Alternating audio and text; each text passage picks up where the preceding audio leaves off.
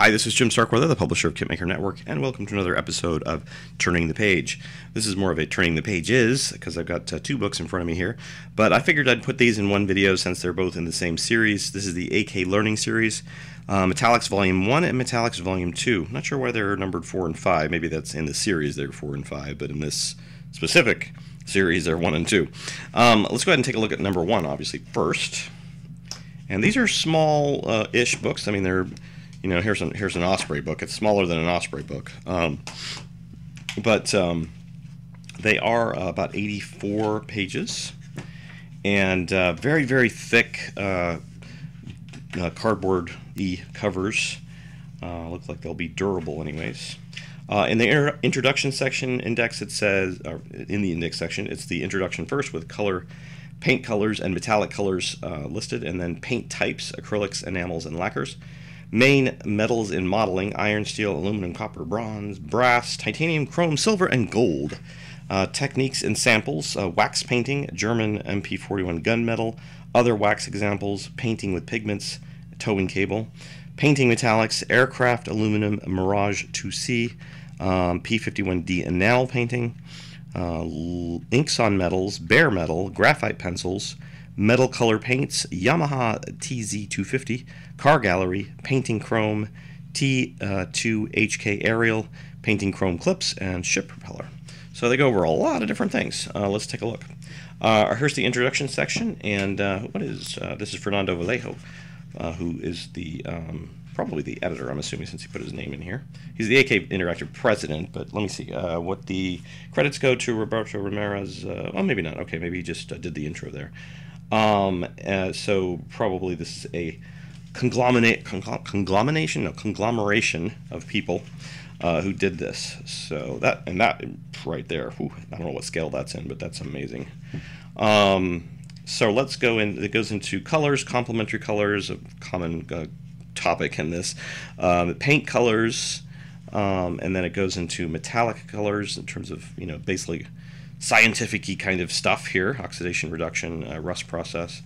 Uh, then it goes into a description of paints um, and more description of metallic paints, different examples they cited, iron, steel, just to give you kind of some, some samples of what, you know, what you're looking to achieve uh, with those things, uh, chrome, silver, gold.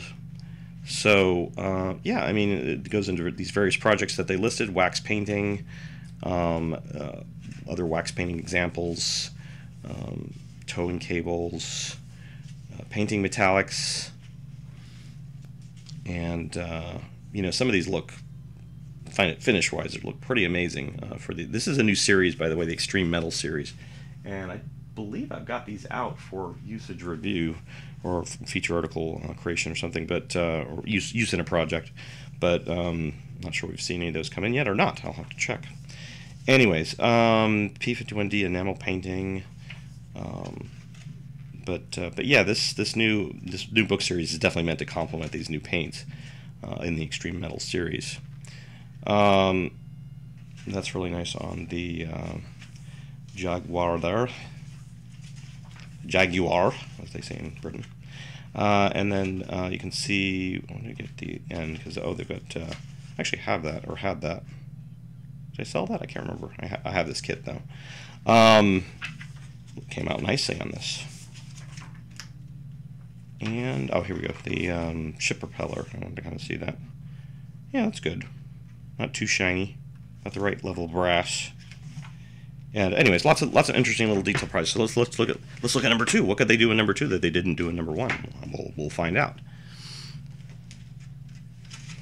All right. So in this one uh, goes into again paint types, acrylic, um, and enamel. Uh, the techniques, uh, pimp primer, PMP, primer, base layer, highlight, shading, definition and final highlights, effects and atmosphere, NMM, non-metallic metal, which is what that stands for obviously, the impact of light, contrast, placement of highlight and shadow, basic graphic example of, of, on an axe, basic graphic sample on a mask, colors and types of metal, gold and silver threads, non-metallic metal technique using acrylics on Warhammer figures, uh, true metal and NM, NMM mixed system, paint metal without using metallic paints, dotting or stipling, stip, stipling, stippling, right? Stippling. The bluing technique, and then samples C3PO Terminator T800 Cylon, Cylon Raider, abyss, abyssal uh, paint stripping, and basic painting. Does it go to. All right, so then the introduction section here using some different uh, Silver Surfer and Iron Man examples. Hey, I knew who those were. Didn't, that's pretty good, huh? Uh, so acrylic metal paints, enamel metal, metallic paints.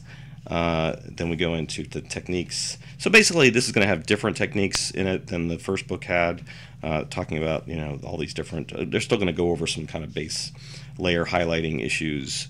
Um, but uh, then when they get into the uh, actual projects, like they did the kind of condensed version of the iron, steel, aluminum, copper, gold, bronze thing here, and uh, so this is why I can see having issue one probably would be nice to be a little more complete.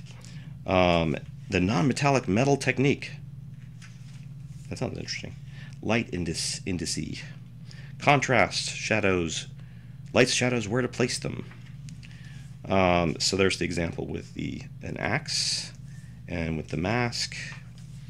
And again, don't want to go over the entire book, but you basically can see that you know they, are going to cover a lot of these different techniques, um, and it looks like uh, to great effect uh, in terms of the final um, what they look like, which is pretty cool. Um, well, that's cool. I haven't seen a model of that. I guess there is a model out there for the Cylon. And uh, Cylon Raider as well. And, uh, well, that's who that guy is. And we end with the little teddy bear, the little, the little clockwork teddy bear. Very cute. Very, very cute. Isn't he cute? All right, so that's uh, that's Metallics, Volume One and Volume Two. Uh, I'd like to thank AK for sending these along. I apologize for the review taking, or the not review, but the uh, the preview slash turning the page taking so long. We I would make these available to somebody who wants to potentially replicate some of this work um, with the uh, paints or uh, stuff uh, provided here. Um, if that's something you're interested in doing, you can contact me at publisher at kitmaker.net. And uh, please leave your comments, suggestions, whatever down below in the comments section, uh, whether you're on YouTube or on our websites. And remember, we do have websites which have a lot more stuff on them than just my but just my videos. And uh, we will see you next time on Turning the Page.